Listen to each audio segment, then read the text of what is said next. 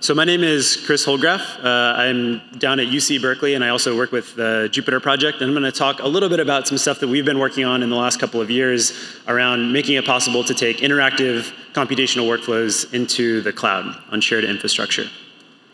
So I like to get the thank yous in ahead of time because I always run over time and then I end up skipping them at the end.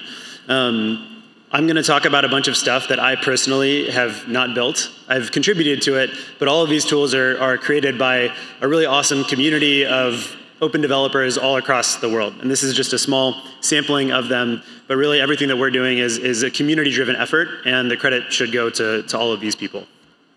And then I also don't want to forget the people that have funded a lot of this work. Thank you to all of those folks as well.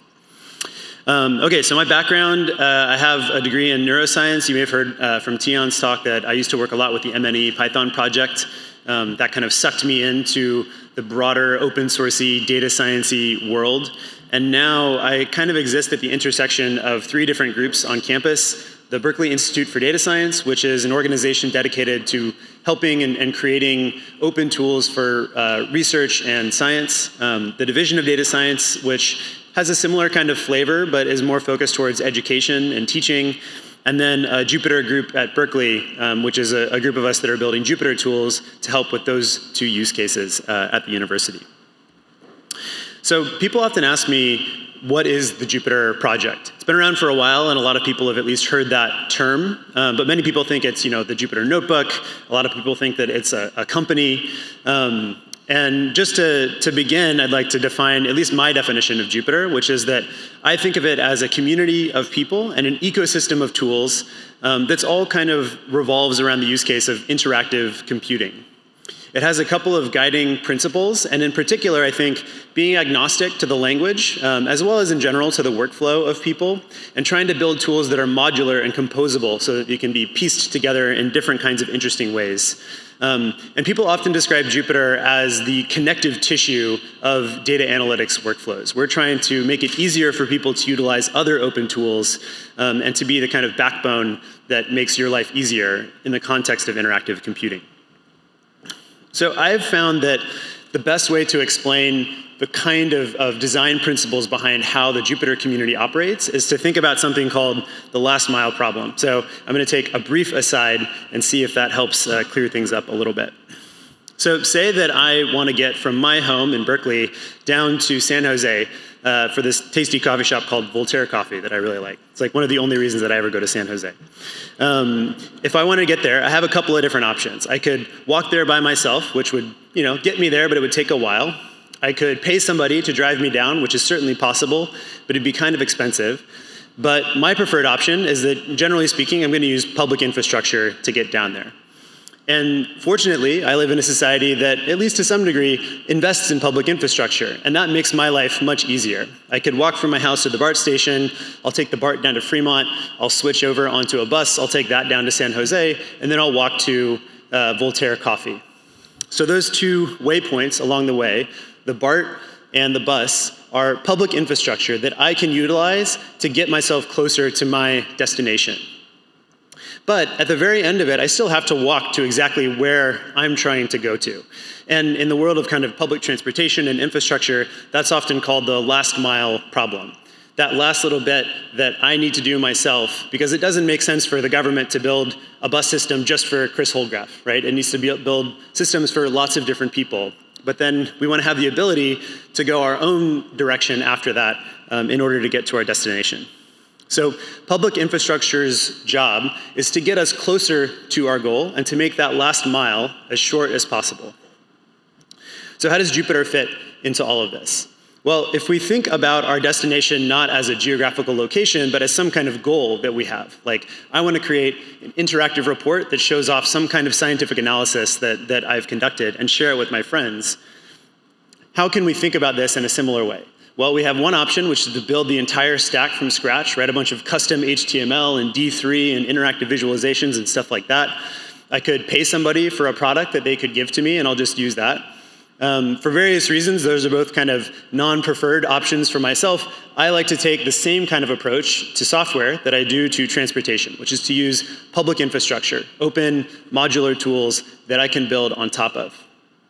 So taken uh, with this example of an interactive uh, report, Jupyter kind of decomposes that problem with a bunch of building blocks that all kind of exist separately from one another. So it utilizes open ecosystems of packages, such as the SciPy ecosystem. Um, it has a document format specification that lets you interweave narrative text along with your code. It uses a server protocol that allows you to, to control resources on your machine and spin up different user sessions.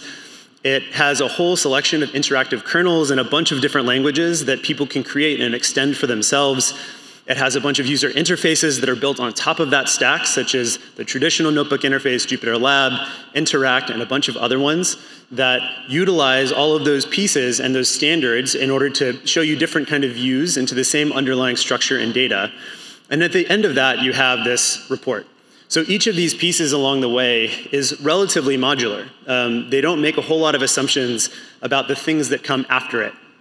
But what it allows you to do is build step by step on top of the pieces that came before it in order to accomplish this goal of creating something like an interactive report. Okay, so now I'm going to go back to the original goal of this talk and discuss specifically scientific reproducibility and shareability um, using shared infrastructure in the cloud. So to me, the, the most compelling quote that I've found around scientific reproducibility and interactive computation is this paraphrasing um, from Buckheit and Donoho. And I'm just going to read it verbatim because I think it's a really good quote.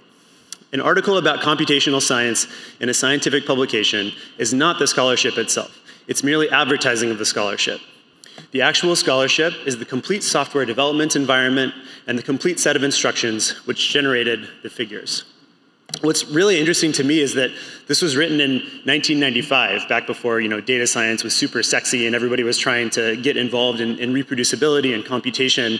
And I think that uh, in a lot of ways it was an extremely forward-thinking way of approaching science and computation. Um, fortunately now we have a lot of tools and technology that we didn't have in 1995.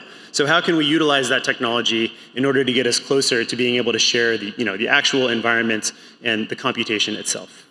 So our mission for this talk is to start with a kind of base Jupyter ecosystem, Jupyter notebooks, the, the notebook format, um, say the, the SciPy ecosystem.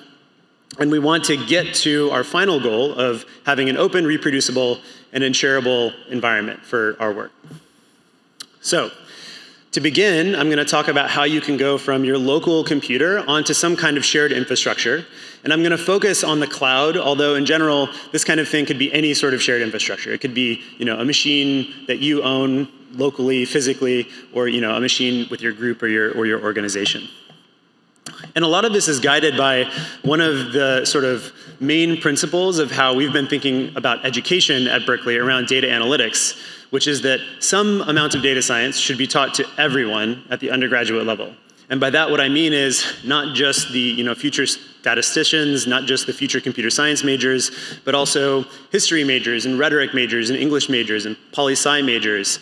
Um, because data-driven thinking is really important in all aspects of society. And I should say, I'm not here talking about like, oh, I want to teach you how to use, you know, Git or how to use this API for pandas, but it's more the conceptual ideas around statistical thinking and uncertainty and things like this.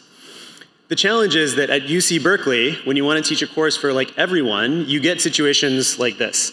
So this is the first day of a gigantic introduction to data science course called Data 8. It's about 1,400 students large. It doesn't fit into the biggest auditorium that we have on campus. And for anyone who's ever taught, you know, a 15 to 20 person data carpentry class or software carpentry class, you know that if we had to ask all of those students to install their own environments on their computer, we would be wasting the first three months of the course just debugging that.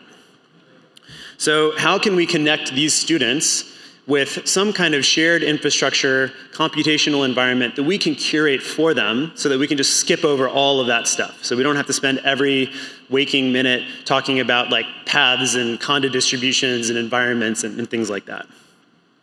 So for that, we're using something called Jupyter Hub. The goal of Jupyter Hub is it allows you as a deployer to create a pre-configured analytics environment that you define, the packages, the, the computational resources, everything like this, and then provide access to that environment on shared infrastructure.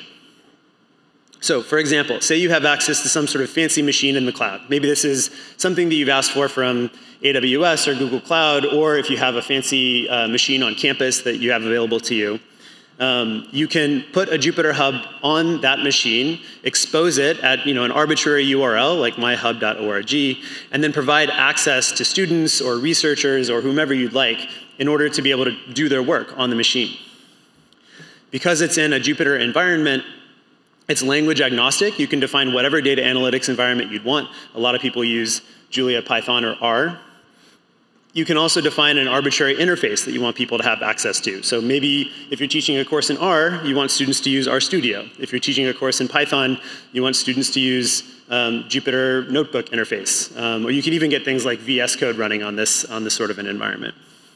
You can also then connect it to resources for, for pedagogy that are in public repositories like GitHub, for example. So Data 8 stores all of its course content in a GitHub repository, and it pulls that content into the Jupyter Hub so that students can interact with it.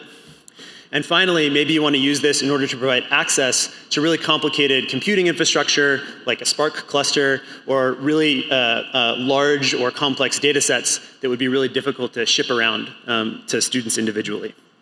And then finally, it also allows you to authenticate users. So once you have authentication, beyond allowing certain people to access it, if you're concerned about that, it also gives you the concept of a user identity. And that lets you do a lot of interesting things about tracking the kinds of things that students are doing, allowing students to submit grades and, and homework and, and things like that. okay, so I'm gonna try to just show you what this looks like in, in the wild. And all right, I don't have a mouse here. The mouse is only on the screen on the opposite side of the room, so this might be. Okay, so this is the, yeah, you can see that. So this is the website that Data 8 uses to host its course textbook. So all of these pages have a Jupyter notebook underneath the hood, but it just looks kind of like a regular old book. You know, you can scroll through it, you've got a table of contents, you can scroll within a page to different sections. Um, and it looks like a Jupyter notebook because it was created from a Jupyter notebook. So when students read this in, in uh, the context of a course, they often then want to interact with the material that's there. Um, and for that, the instructors have put together what they call interact links. And basically, these are links that, when you click them, will fire up a process on a Jupyter Hub that the Berkeley team manages. It goes to GitHub and it says, okay, where does this Jupyter Notebook live underneath this page? It then spins up a user session for the student and then dumps them into a live version of this where they can start to interact with the, with the content on their own. So this is running, you can see up here, datahub.berkeley.edu, which is where the Jupyter Hub for, for Data 8 lives. Okay. Um, and I also just want to give a quick shout out to Open Humans, who gave a talk, I think, yesterday, um, that also used the Jupyter Hub. Yeah, Bastian. Um, to, to allow people to, to collaborate on uh, personally collected data and, and kind of explore and run different analyses um, about their own lives. Okay, so we've added one extra step to this journey of getting to open, reproducible, shareable environments. We have infrastructure that lets us collaborate on the cloud. So once you have some sort of shared infrastructure, the next thing that you need is the ability to package your work, define the environment that you need, and then share it with other people. Um, and the tool that we're working on to make that possible is something called repo2docker. So repo2docker, in essence, is a fairly straightforward tool. It tries to do one thing relatively well, which is to convert a repository of code and content into a Docker image that can run that content. That's it. So as an example, let's go to this page. Um, this is a GitHub repository that has uh, one of the analyses that was done in the recent black hole or gravitational waves finding with LIGO. Um, and if you look inside, you'll see uh, there's a, a, Jupyter notebook in here that I'm not going to dive into just for time's sake. But what you'll see is a file here called environment.yaml. And this is you know, a common file in the Python world for defining the packages that you need in order to run whatever is inside. And that's going to be important when I show you what, uh, what repo2docker does in a second. So if I were to call repo2docker from the command line, I give it a path to a repository either locally or remotely on something like GitHub. And in this case, I'm passing that LIGO binder thing. And what's it going to do once I do that? it gives me a bunch of gobbledygook, you know, machine-looking code. So let me dig into each one of these steps and tell you what's happening underneath the hood. So first of all, what it does is it fetches the repository that you give it. It either you know, moves into that directory locally or it clones it from GitHub. It then looks inside of that repository for what we call configuration files. These are common files in the various communities that are supported by repo2docker that define the environment needed to run what's inside. So in this case, it's requirements.txt. It might be something like environment.yaml if you want um, uh, an Anaconda installation. It can also be other languages like R. You can specify a version of R and a date on CRAN that you want to pull packages from. And the goal of all of this is to basically weave these configuration files into a Docker file that we know will run the environment needed to run that code. So it generates the runtime environment that's needed to run whatever's inside, and then it also actually installs those dependencies based on the configuration files that are there. Finally, it builds in, uh, that, that Docker file into an image, and then it pushes it to a Docker registry that you can pull from in order to, to either send to your friends or use for yourself for reproducibility reasons, or use with another tool, um, which I'm going to talk about next. So if you look back through this gobbledygook, you can kind of see each of these different pieces in there. It clones the repository, it finds the environment needed, it then builds and installs that environment, and then finally it pushes it up to the cloud. You can support a bunch of different uh, data analytics workflows with this, and our goal is to make this relatively extensible and again, kind of modular. So if you were from a different community and you wanted to build in the ability to generate uh, reproducible images with Repo2Docker, there's a relatively straightforward way to do so. And the kind of guiding principles of this tool are that it needs to create things that are both human and machine readable, that utilize pre-existing specifications and standards as much as possible. We don't want to create a new standard. What we would like to do is piggyback off of pre-existing standards. Um, but we do want to support many languages while being tightly scoped around this workflow of you know, interactive, reproducible data analytics workflows. Um, and then we've built in a lot of extensibility to make it easier for you to adapt this to your own workflow. Okay, so that's one more step that gets us a little bit closer. But what we need now is something that can kind of tie these two different pieces together. Some kind of shared infrastructure that can be paired with the um, reproducible image building process of something like Repo2Docker. And that's where uh, Binder and Binder Hub come into play. So Binder is another open source tool. It deploys a web app that allows people to create interactive, reproducible, and shareable environments using a Git repository that is available publicly or locally on the server on which it's running. and the easiest way to think about Binder Hub is that it's basically just Repo2Docker plus a Jupyter Hub. It's like a particular configuration of Jupyter Hub that makes it easy to launch Repo2Docker in order to build uh, the image that's needed to run a repository. It's built on Kubernetes. Um, it's cloud agnostic. It's very scalable. Um, I'll show you in a second, but we run a Binder Hub service that gets you know, easily 100,000 users every week. Um, and it's also entirely community driven and it's meant to be deployable by anyone. So I'm going to focus a lot on a particular deployment, but really the goal is for this to be generic tech that people can use for their own groups or for their own communities as they, as they wish. So one example, and probably the most long-lasting example of a binder hub, lives at mybinder.org. And what I'd like to do is just show you how this works with another hopefully successful live demo.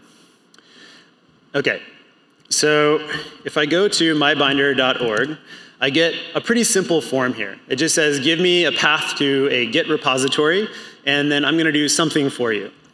Um, this is a repository that we maintain, so I know that it's there. It's a binder-examples slash requirements. So I'm just going to type that in. It lives on GitHub, and if I hit launch, what it's going to say is, oh, okay, I've actually already built the image needed for this repository, so I'm just going to spin up a server on a Jupyter Hub, and then I'm going to dump you into that server so that you can start interacting with whatever's inside.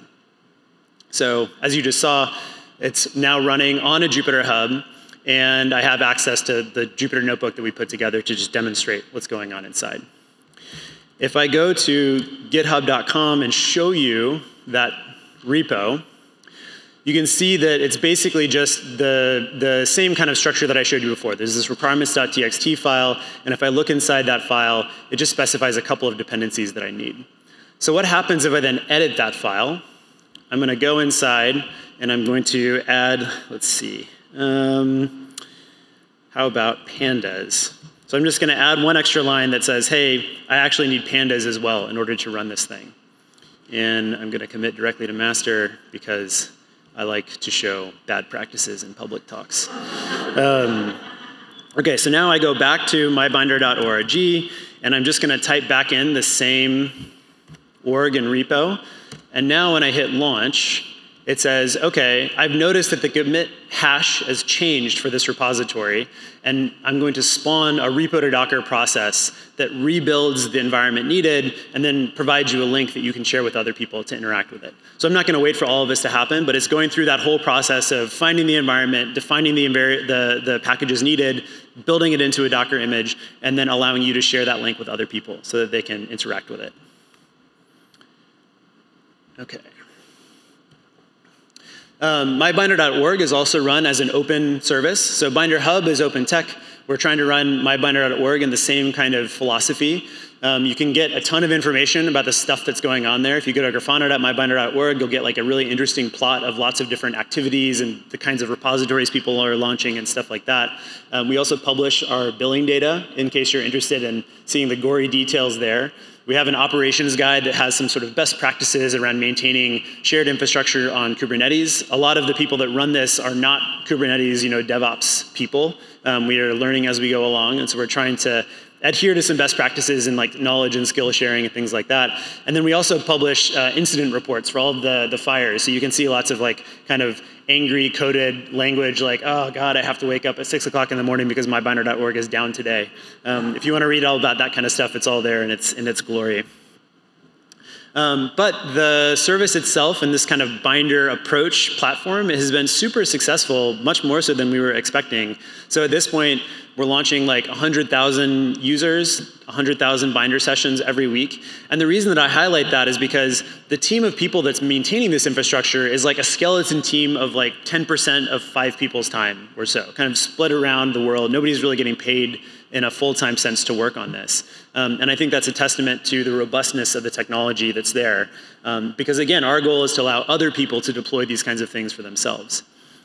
The thing that's really exciting to me is that this is uh, launches across the world just in the last month. And it's amazing to me the coverage that you were able to get across the globe by providing access to people in this kind of way. And a lot of these are folks coming from countries where it would be really hard for them to run the same kinds of material if they were running it like on their own laptops.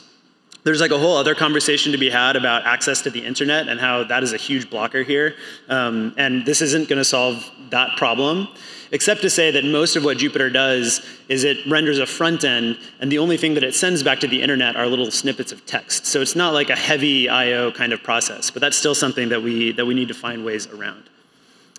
Um, and then lastly, I want to mention that a bunch of other binder hubs have started popping into existence. Uh, Kirstie runs a really cool project called the Turing Way that I think she'll probably talk about a little bit later in a, in a talk. Um, there's also a really cool project called Pangeo that runs a binder hub for Earth analytics.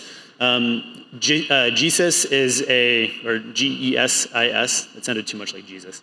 Um, GESIS is uh, a, I think it's a, uh, a a group dedicated to social sciences in Leibniz.